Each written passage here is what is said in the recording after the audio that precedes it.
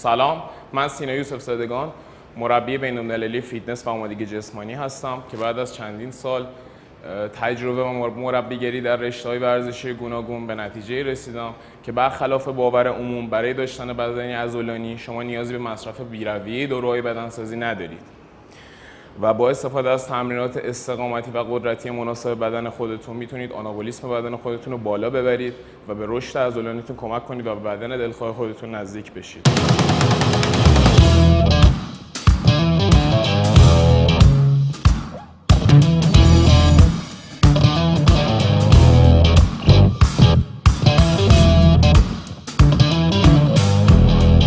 این قسمت از برنامهمون برنامه استقامتی مونه و یه cycle سه حرکته می‌زنیم که حرکت اول thruster حرکت بعدی burpee و حرکت سوم swing. که حرکت اول تراسلر رو براتون اجراش می‌کنیم.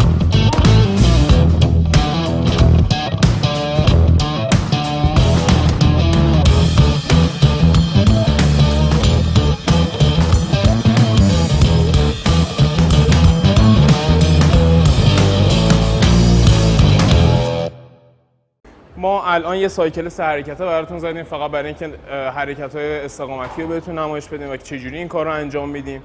سه حرکت رو پشت سر هم توی timing مشخص می‌زنیم که الان حالا توی timing نشون ندادیم ولی باید توی time مشخص بزنیم این حرکت رو. بخش بعدی تمرینات تمرینات تمرکزی و تمرینات آمادگی جسمانی و ورزش هایی که با وزن بدنه هستش و می‌خواستیم که حرکت handstand رو برای مثال از این دسته از تمرینات بهتون نشون بدیم. بریم.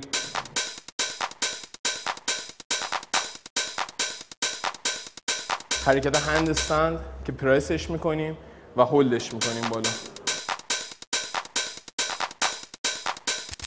بخش بعدی تمریناتمون بخش آمادگی جسمانی و تمرینات با وزن بدنه که براتون نمایش میدیم. حرکت ماسلاب که از دوست خوبم ماهان خواهش می‌کنم واسه همون اجرا بکنه و ببینیم که این حرکت چجوریه.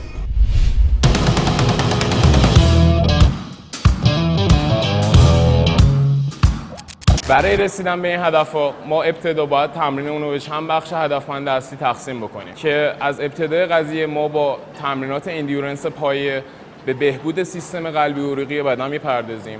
بعد با استفاده از تمرینات وزنه و body weight به رشد و hypertrophy یک یا چند دسته از عضلات بدن می‌پردازیم. که داشتن این برنامه تمرینی استقامتی قدرتی مناسب بدن رو کم کم به شرایط ایدئال خودش می‌تونه نزدیک بکنه.